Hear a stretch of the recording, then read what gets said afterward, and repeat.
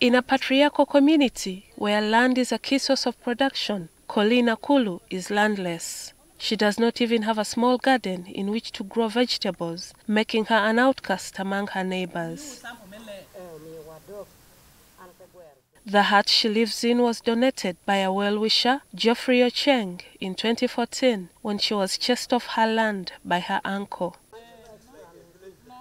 Akulu is a veterinary doctor of sorts in Ajiagud A village, a Roto parish in Aromo sub-county, Lira district. To supplement the income she makes from treating animals, she makes cassava bread, which she vends in the trading center.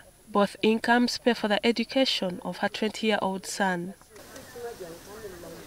Many years ago, when Akulu's mother developed misunderstandings with her husband, she returned to her father's home with her children. Akulu's grandfather gave his daughter a piece of land on which she built a house and planted a garden.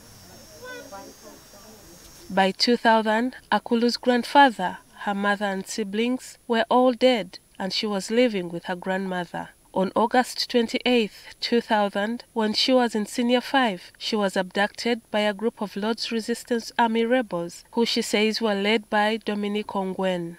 I managed to come back home in 2002. I took four days to, re- to be able to return back home. I would be sleeping in bushes. My grandmother, whom I found was still alive, gave me a piece of land to cultivate. However, her uncle was not happy with the move. He began telling villagers that Akulu's son was an abductee who would one day kill him and take all his property if he remained in their home. When my uncle saw it, he picked a panga to cut me, claiming I should not stay with the child of a bushman. Akulu says since her father divorced her mother and refused to reclaim his children, she cannot return to his clan. On the other hand, she cannot inherit her mother's land because her uncle has vowed to kill her. No, with them. No, but no, like... In Lango, land is under customary ownership and is held in trust by the clan. Beatrice Akelo, the executive secretary of the Lango Culture Foundation, admits that the Lango, just like a number of tribes in Africa, face problems when it comes to women's land ownership rights. Most especially the, the women that were once married and came back home, or those ones who never had chance to marry but had produced children and they stay home.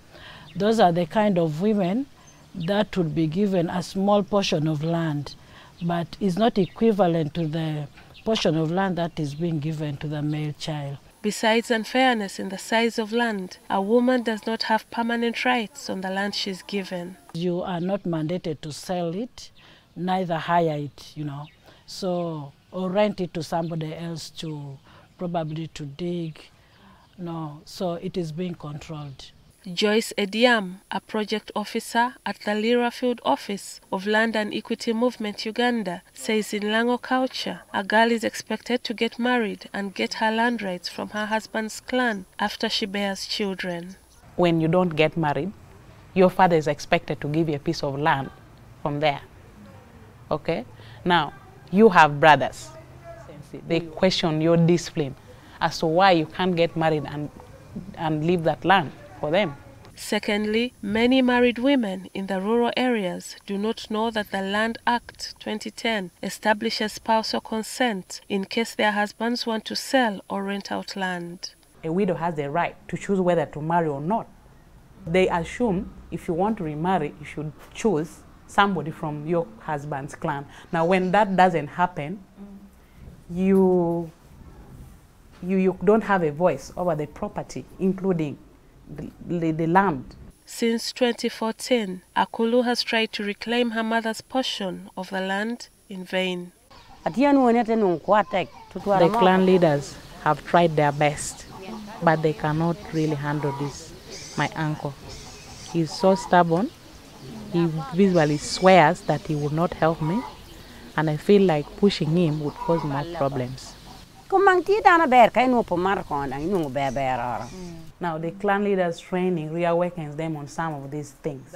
we, we, we give them a training to capacity build them on some of their roles and responsibilities established Akelo says the Lango Culture Foundation is putting in place strategies on how best to balance culture and development and give women platforms to air out their concerns on matters affecting them. So our cultural kind of norms have to be, you know, have to be worked on, most especially the mindset of the, the people in Lango here.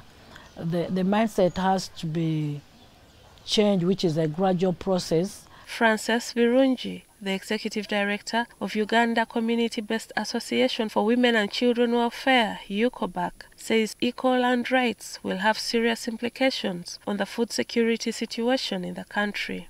Not every part of culture is bad.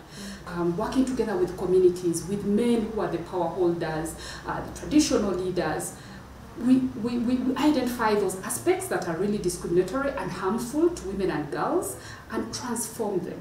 Change is possible and we need to, to, to invest in this change.